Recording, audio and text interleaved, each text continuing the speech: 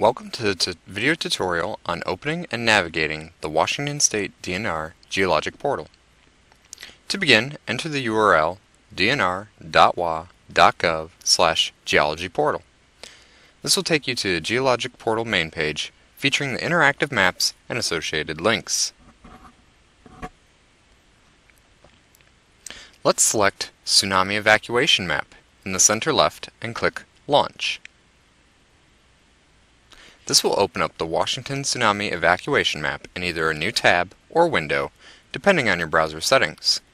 Note the viewer runs in Flash, so if the page does not load then you may need to update your browser or use a non-iOS device. In the center of the view, we could see the map area with the tsunami evacuation sites for selected coastal communities overlying a global base map.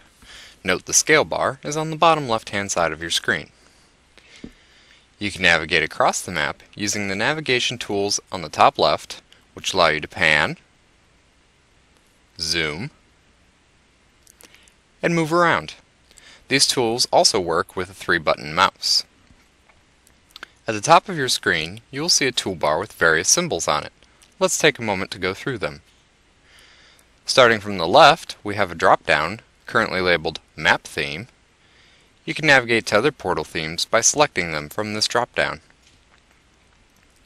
Moving right, we have several tools to help identify a location or area of interest, including a geographic zoom tool, a latitude-longitude zoom tool with various input options, and an address tool. Areas of interest can be bookmarked for future use by adding a bookmark and saving bookmarks to your local drive. This will allow you to return to areas of interest in subsequent visits following an upload of your bookmarked file. Next we have the Identify tool.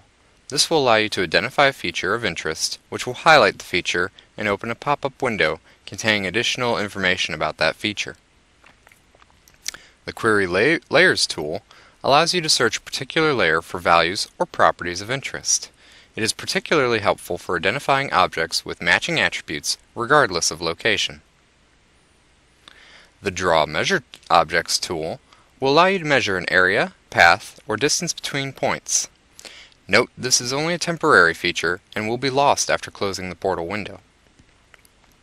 The Download GeoReference Map Snapshot tool will take a georeferenced JPEG image of your current view which can then be loaded into spatial programs such as ArcGIS and Google Earth. The Create PDF for Printing will allow you to create a PDF file of the view with a selectable legend for easier printing.